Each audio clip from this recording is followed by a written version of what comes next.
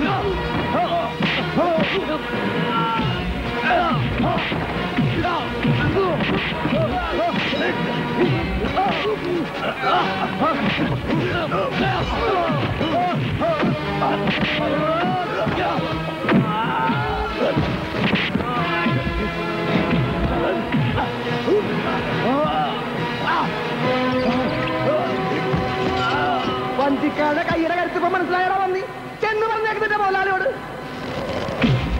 എന്ന് പറഞ്ഞാൽ എങ്ങനെ ശരിയാകുന്നേ? പോക്കിരുത്തലല്ലേ അവന്മാർ കാണിച്ചത്? ഇനി മിണുങ്ങസ്യാന്ന് പറഞ്ഞിരുന്നാലുണ്ടല്ലോ അതവന്മാർക്ക് വളമാവും. ഈ വള്ളക്കാരുടെ മതി. ഇപ്പൊ തന്നെ അവസാനിപ്പിക്കണം. അങ്ങനെ വാശി പിടിച്ച് വഞ്ചിക്കാരുമായി ഏറ്റുമുട്ടിയാലുണ്ടല്ലോ. നമുക്കും ഉണ്ടാവും നഷ്ടം. എന്താ ഈ പറയുന്നത്? ലക്ഷക്കണക്കിന് രൂപ മുടക്കി ബോട്ട് ഉണ്ടാക്കിയിരിക്കുന്നത് കരയിൽ വെച്ച് മീൻ പിടിക്കാനല്ല. പുറംകടലിലാണെങ്കിൽ ട്രോളിംഗുകാർ തീരത്താണെങ്കിൽ വള്ളക്കാര്. പിന്നെ നമ്മൾ എന്ത് ചെയ്യും? നമുക്ക് ഫിഷറീസ് ഓഫീസർ ഒന്ന് കണ്ടാലോ? എന്തിനാ? അയാളുടെ കസേരയുടെ വലിപ്പം കാണാനോ? ഇവന്മാരൊക്കെ വള്ളക്കാരുടെ ഭാഗത്ത് നിൽക്കൂ.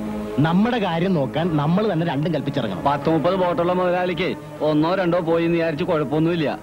പക്ഷെങ്കിലേ ഒരു ബോട്ട് മാത്രമുള്ള എന്റെ സ്ഥിതി ആലോചിക്കുമ്പോഴാ. ഡാ കൊച്ചവസത്തെ രണ്ടു കൊല്ലം മുമ്പ് വരെ നീയും വള്ളക്കാരനായിരുന്നല്ലോ. അപ്പൊ നീ ഇതേ പറയുള്ളെന്ന് എനിക്കറിയാം. നമുക്ക് സർക്കിളിനെ ഒന്ന് കണ്ടു കളയാം. സർക്കിളിനെ സ്ക്വയറിനെയും കണ്ടിട്ടൊന്നും ഒരു കാര്യമില്ല. ഞാൻ തെക്കോട്ടൊന്ന് വിളിച്ച് പറഞ്ഞാൽ മതി. വകുപ്പ് മന്ത്രി വരെ വേണേ ഇവിടെ എത്തും. അതൊന്നും വേണ്ട. അല്ലാതെ തന്നെ ഉമ്മാരെ ഒതുക്കാൻ എനിക്ക് നല്ലതുപോലെ അറിയാം. അമ്പത്തിയഞ്ച് അറുപത് അറുപത് അറുപത്തഞ്ച്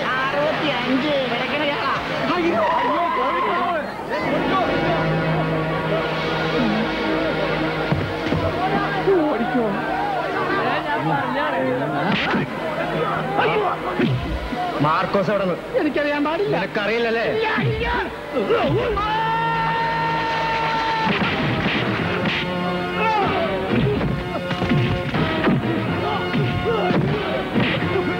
പറയടാ മാർക്കോസ് എവിടെ? എനിക്കറിയില്ല. പാട്ടി കാഴുവറ മോനെ. ഓനും കൂട്ടരും എവിടെ പോയെന്ന്? പുറകടല്ല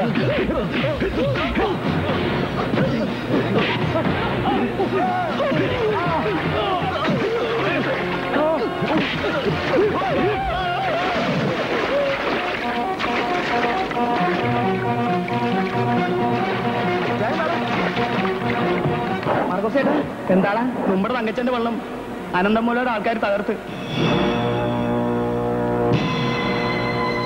മൂന്നാലാളുകൾ ചത്ത്.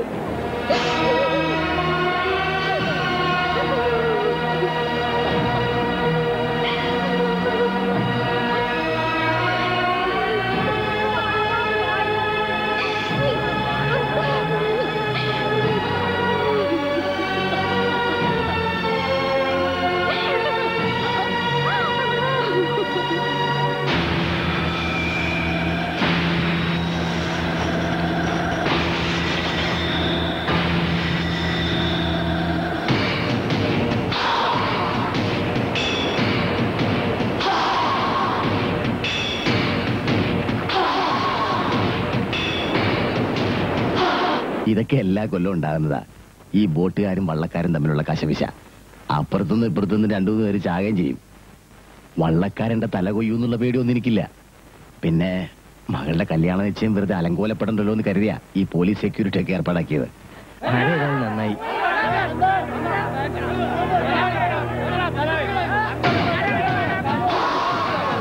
ദേ,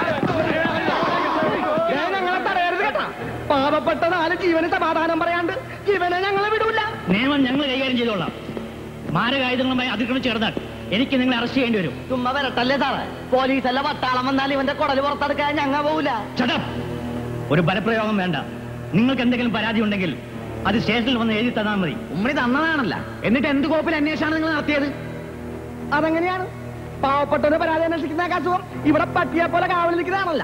കൈ നിറയെ കായ് കിട്ടുമല്ല പോക്കറ്റം പറഞ്ഞ അടിച്ചു നിന്നെയൊക്കെ അടിച്ചൊതുക്കാൻ എന്താണ് പട്ടിയാ പൂച്ചേ? ഞങ്ങ കടലിന്റെ മക്കളാണ് കേട്ടാ. തണ്ടും പങ്കാളും പിടിച്ച് തലമ്പിച്ച കൈയാണിത് സാറേ. എല്ലാത്തിനെയും വെട്ടി നുറുക്കും ഞങ്ങ. എടാ വേണ്ട സാറേ. വെറുതെ ഒരു ബഹളം ഉണ്ടാക്കണ്ട. അവരൊക്കെ എനിക്ക് വേണ്ടപ്പെട്ടവരാ. ദേ ഈ പഞ്ചാര വർത്താനൊക്കെ തന്നെ മറ്റവളടുത്ത് പോയി പറഞ്ഞാൽ കേട്ടാ. നാല് കുടുംബങ്ങളെ വഴിയാധാരമാക്കിയിട്ട് ഞാൻ അഞ്ഞാപഞ്ഞ പറയണ. അത് മനസ്സിലിരിക്കട്ടെ. നിങ്ങൾ എന്നെ വെറുതെ തെറ്റിദ്ധരിച്ചിരിക്കുക. ഇന്നെന്റെ മകളുടെ കല്യാണ നിശ്ചയ. ഒറ്റ ബോട്ട് ഞാൻ കടലിറക്കിയിട്ടില്ല ദേ ആളവടിയാക്കല്ലേ കേട്ടാ. അയ്യോ ഞാൻ ഇപ്പോഴാണ് ഇത് അറിയുന്നത് തന്നെ. ഈ ബോട്ട് തൊഴിലാളിയിൽ ഇങ്ങനെ ഓരോ പ്രശ്നങ്ങൾ ഉണ്ടാക്കാനേ ഞങ്ങൾ മുതലാളിമാർ എന്ത് ചെയ്യാനാ? ദയവ് ചെയ്ത് നിങ്ങൾ സമാധാനത്തോടെ തിരിച്ചു പോകണം മരിച്ച തൊഴിലാളിയുടെ കുടുംബത്തിന് വേണ്ടി എന്ത് സഹായം വേണമെങ്കിലും ഞാൻ ചെയ്യാം. തന്റെ ഒന്നും വേണ്ട. അവരെ രക്ഷിക്കാൻ ഞങ്ങൾക്കറിയാടോ? ആരാണ് ഇത് ചെയ്തതെന്ന് ഞാൻ അന്വേഷിക്കട്ടെ? നിങ്ങളിപ്പോ പിരിഞ്ഞു പോകണം പോലീസിന്റെ അന്വേഷണം തീരുമാനം കണക്കണത് മോലാളിമാരുടെ ബംഗ്ലാവിലാണല്ല. എത്രയും വേഗം കൊലയാളികളെ കണ്ടുപിടിച്ചില്ലെങ്കിൽ ഉണ്ടല്ല മുതലാളിമാരുടെ കഴുത്തിന് മേലെ തല കാണുകയല്ല. ഹലോ? ഹാജരല്ലേ ഞാൻ അനന്തന. അതെ ഉമാർ ഇവിടെ വന്നിരുന്നു. ഏയ് ഞാൻ നാലഞ്ച് പഞ്ചാര വർത്താനം പറഞ്ഞവരെ തണുപ്പിച്ചു വിട്ടിട്ടുണ്ട്.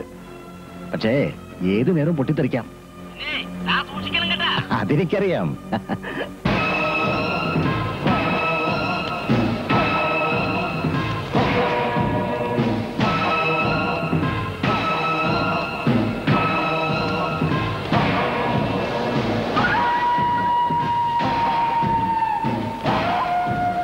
ഇതാരാണ്ടപ്പ? ആ ഏതാണ്ട് വരുത്തനാണെന്ന് തോന്നുന്നു. ഒരു വീട്ട് വീഡിയോ ചാവക്കാട് കടാപ്പുറത്ത് ആയിരക്കടത്ത് ഇതിലിപ്പോ എന്താണ് ഒരു പുതുമ? ഏ?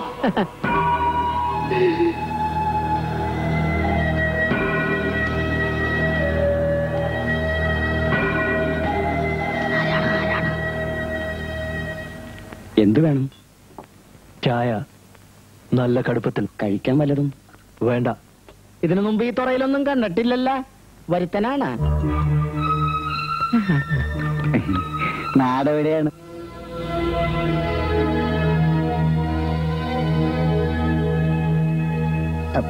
കണ്ടിട്ട് സംഗതി ഇച്ചിരി പരവക്കേടിലാണല്ല. വല്ല കഞ്ചാവ് അടിച്ച് കിറിങ്ങിറക്കണ പാർട്ടിയായിരിക്കും കേട്ട. ഒരു ജയിൽ പുള്ളിയുടെ മട്ടുണ്ട്.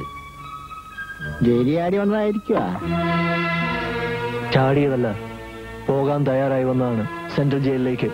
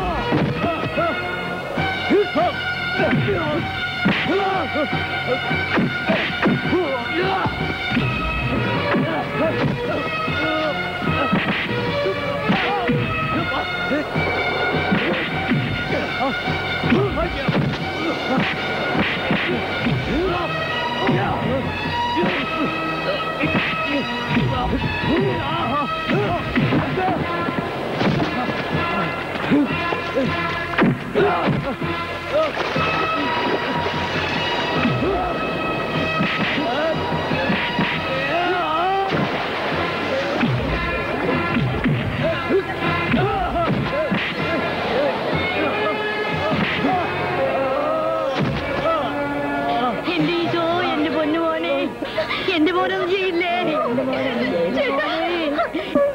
എന്റെ മോനെ രക്ഷിക്കാൻ ആരുമില്ലേ?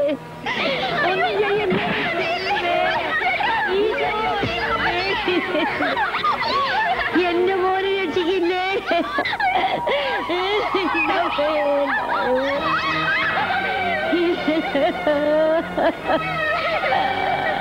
എന്റെ മോനെ